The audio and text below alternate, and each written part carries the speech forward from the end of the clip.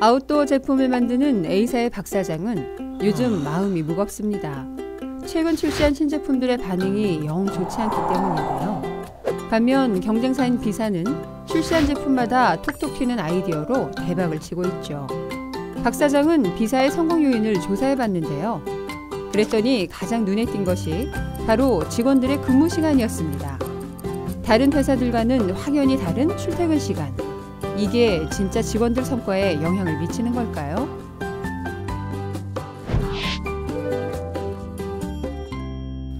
대부분 회사의 출퇴근 시간은 9시에서 6시죠.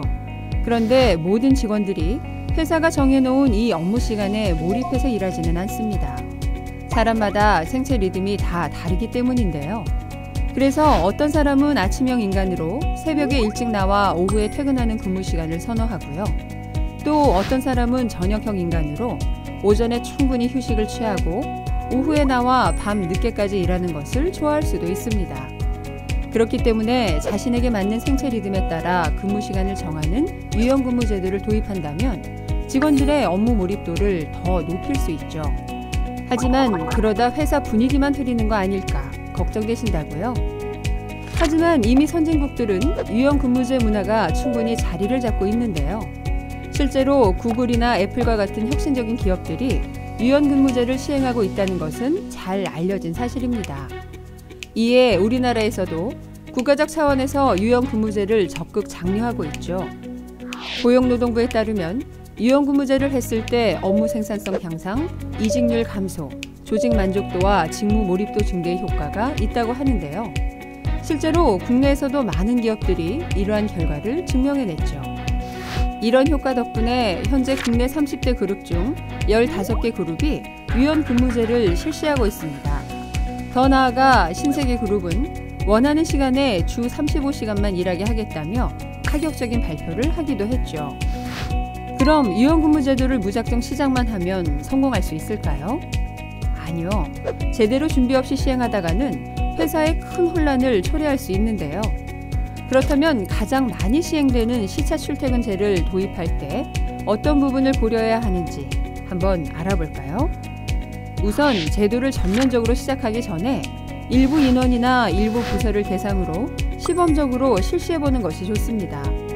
그리고 부서 간에 근무 시간대 차이로 발생할 수 있는 커뮤니케이션 공백도 줄여야 하죠. 각 부서 관리자들은 미리 계획을 세워 공통 근무 시간 내에 회의를 진행할 수 있게 하는 등의 보완책도 필요합니다.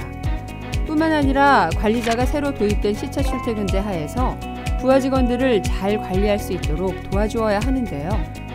직원들의 성과를 효과적으로 관리하고 평가할 수 있도록 사이버 교육, 워크숍 등의 충분한 사전 교육을 실시하는 것이 좋죠. 만약 자율 출퇴근 제도 도입이 바람직한 결과를 가져오지 못했다면 그 부서의 시차 출퇴근 제도를 폐지할 수 있는 권한을 주는 것도 효과적일 수 있습니다. 꼭 이런 변화를 시행하기 어렵다면 직원들이 몰입할 수 있는 근무 시간제를 다른 방식으로 만들 수도 있습니다.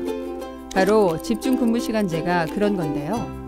조사에 따르면 우리나라 직장인들은 하루 평균 2시간 내지 2시간 반을 출퇴근 시간을 위해 2시간 정도를 이메일 확인 및 정리에 그리고 3시간 이상을 회의 참석에 사용한다고 합니다.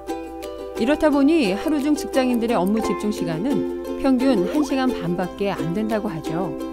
그래서 하루 업무 시간 중 회의나 휴식, 이메일, 전화 등 그 어느 것에도 방해받지 않고 업무에 집중할 수 있는 집중 근무 시간을 도입하면 좋습니다. 보통 오전이나 오후 두세 시간 정도를 집중 근무 시간으로 정하는 경우가. 인천 남동공단에 있는 신한 다이아몬드 공업 본사의 경우 오전 9시부터 11시, 오후 2시부터 5시 등 하루 두 차례의 집중 근무 시간을 도입했다고 하는데요. 이때는 잡담이나 담배, 음료는 물론 어떤 회의도 열지 않는 것을 원칙으로 한다고 합니다. 제도 도입 후 첫 해인 지난해 1인당 매출액이 전년 대비 20%가 늘어났을 만큼 효과적이었다고 하죠. 이 같은 집중 근무 시간제가 성공하려면 어떻게 해야 할까요? 잡담이나 흡연, 사적인 인터넷 서핑은 금지한다. 회의 소집이나 상급자가 직원을 호출하지 않는다와 같은 명확한 규정이 필요합니다.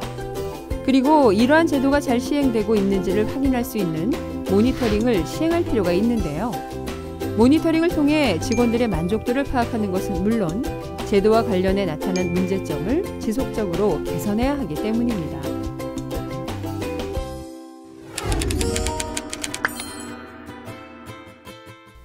아직도 9to6의 출근 시간만 고집하고 계신가요? 개인의 생체 리듬을 고려해 유연 근무제를 도입해 보세요.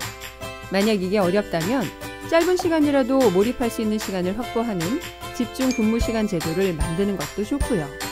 이러한 시간 활용 제도들을 통해 직원들이 업무에 몰입하여 똑똑하게 일할 수 있는 워크스마트 환경이 구축될 수 있을 겁니다.